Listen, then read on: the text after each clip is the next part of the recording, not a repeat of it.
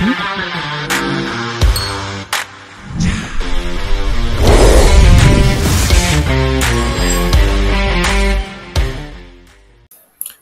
and welcome to the JB&M Sports Fanatic channel. Thank you guys so much for coming through. And so, yeah, pass rusher Taco Charlton, you know, the former first round pick of the Dallas Cowboys in the 2017 NFL draft, 28th pick overall out of Michigan at 6 foot 6, 270 pounds. He is currently in Pittsburgh undergoing a physical. And if that physical goes well, they're saying that it looks like the Steelers will add them to the practice to the practice squad. And so that'll be, you know, big right there, a step for Taco to possibly, you know, someday making a return to an active roster. Great news for him. I'm excited for him. We know the potential that he had coming out of Michigan, and we would love to see him in the place where he can succeed. And we're better than Pittsburgh when it comes to what they're able to do with defensive players. So we'll first see if the physical goes well. And if that goes well, then the Steelers end up adding him to the practice squad. That'll be a big move right there for him. So we'll continue to monitor the situation as I'm sure you guys are very interested in this guy particularly. And so we'll see how things go from there. But of course, as news continues to unfold, you guys can be sure to find it here. And that's why you're going to want to make sure if you guys haven't,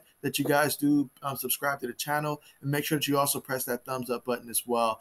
Um, I appreciate all the support, you guys, and I'm telling you, I'm going to continue to provide a lot of updates for you guys. So I appreciate all supporting this journey as I get closer to 1,000 um, subscribers. Really appreciate you guys so much. Each and every subscriber means a lot to me. And with that being said, though, thank you guys so much for joining me, and see you guys next time.